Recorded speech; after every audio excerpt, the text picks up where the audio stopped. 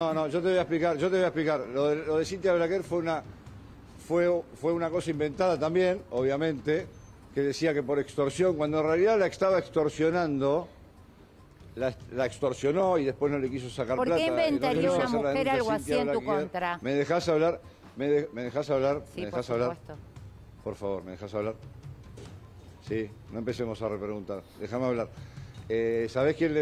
eh, porque Cintia Blaquier estaba en cosas raras y la extorsionaba el cuñado de esta otra, de mi última ex mujer, que también se llama Cintia, ¿se entiende? Gonzalo, también hay una denuncia Sí, de tu, vamos por de tu partes. hija. Por eso, pará, pará. Por, por eso, por eso, y bueno, si la madre le llena la cabeza, ¿qué querés que haga? Pero que, bueno, yo no quiero hablar de, de la madre, ¿sabes Pero por qué? perdón, ¿no tenés una perimetral? La justicia no te Eh, impuso me la acaban una- de poner. Te la acaban de poner. Recién y la anterior poner una- también había una perimetral. Sí. O sea, tenés Eh, dos perimetrales. Sí, también. Entonces la No, la otra justicia cree vencido. evidentemente Ah, que- algo de lo que están diciendo las víctimas. No, no, yo te, yo, espera, ¿te paso a explicar? A ver. Sí. Sí.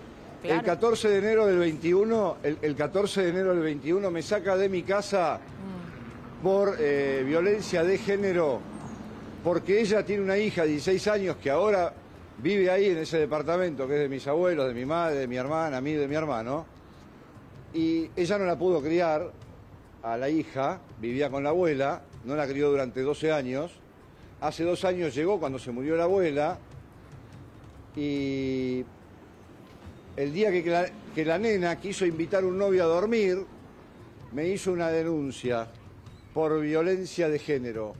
Y oh casualidad que ayer también, antes de ayer, me pidió, yo ya le había dejado entrar un novio, pero aparte es mayor de edad y a mí esas cosas no me van, le dije, no, acá no entra más nadie, y oh casualidad que me vuelve a hacer una amenaza, ahora no por violencia de género, sino por amenazas, y oh casualidad que yo no le dejé entrar al novio que tiene más de 18. Te podés imaginar que a la madre no le importa ir en cana igual, ¿viste? Pero, la hija tiene Gonzalo, 16 y es sin menor de edad. ¿Se entiende? ¿Se entiende, se, se entiende el correlato? No, yo quiero que se entienda, chicos, porque si no, viste, voy a quedar como el agresivo. Lo que como no se entiende es Aparte, que- esperá, Gonzalo, esperá, ¿qué esperá que te voy a relación explicar, esperá, dos- esperá que qué te voy a relación mostrar. esperá que te voy a mujeres? mostrar, esperá, esperá, esperá, ¿me dejás que te muestre algo? Sí. ¿Me dejás que te muestre la- todos los pelos arrancados que tengo por esta última Cintia de mi cabeza?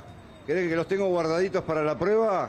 Le acabo de pasar a Gonzalo todas las fotos.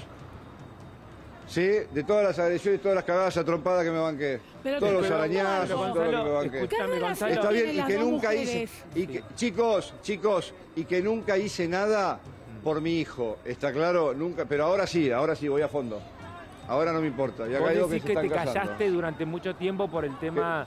Por ¿Tiene- tu hijo. ¿Tendrán un buen abogado?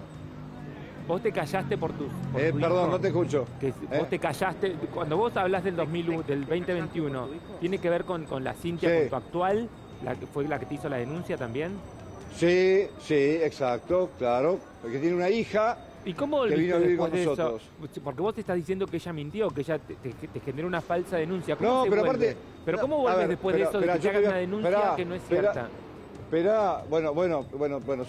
eh, volví porque era mi casa, pero te voy a aclarar algo más, Flor. Te voy a contar algo más que no, yo nunca conté cosas mías. El 4 de noviembre del año pasado, ¿sí? Que yo iba cada tanto a ver a mi hijo, me quedaba, me quedaba un fin de semana, un fin de semana sí, un fin de semana no. Otro fin de semana me llevaba, me lo llevaba a Gianmarco a mi hijo a la casa de una amiga en Tigre, Silvina Pensotti, una divina que me dio lugar.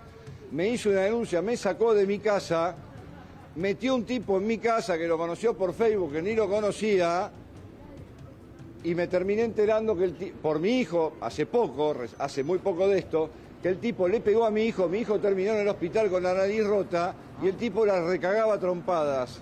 ¿Se entiende? Chicos, esto sabe, ¿y sabés por qué no hizo la denuncia? Porque si ella le hacía la denuncia al tipo que le había pegado a mi hijo, ella si quiere que la caguen a trompadas, eso es un problema de ella. Pero si ella le hacía la denuncia al tipo, automáticamente a las 72 horas le hacían una exclusión de hogar y le sacaban la tenencia de mi hijo.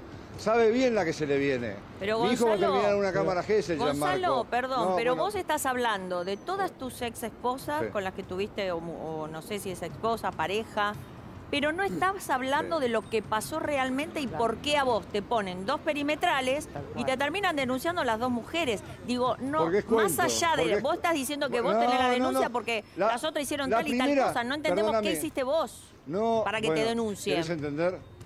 Yo, yo con Cintia Blaquier, mi, mi ex mujer, la primera, la única vez que me casé, no, eh, la vi una vez sola en los últimos siete años.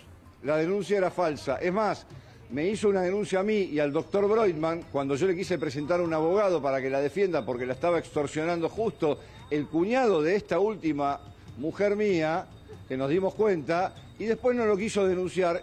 ¿Y a quién terminó denunciando? A mí por extorsión y al doctor Broidman, que quedó en la nada, chicos.